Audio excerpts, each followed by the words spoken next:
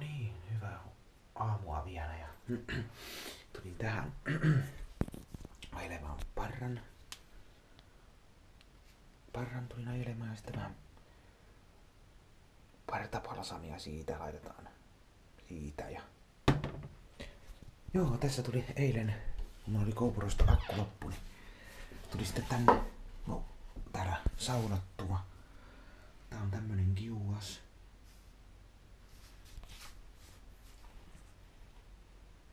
Harvia lukee siinä ja täällä tuli sitten istuttua tässä ja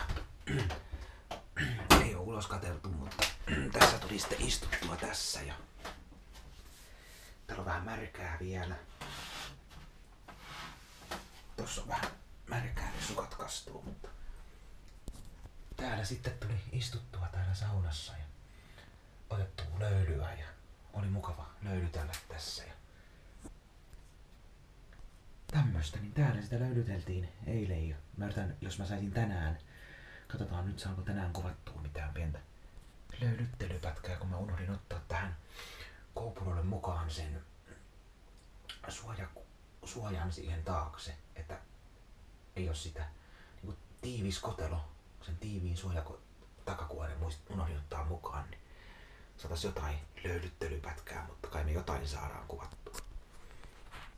Katsotaan vain, että GoPro saa nakkua sitten, kun löydytellään. Joo, mä jatkan Paranajulla ja tästä lähdetään. Täällä löydyteltiin eilen ja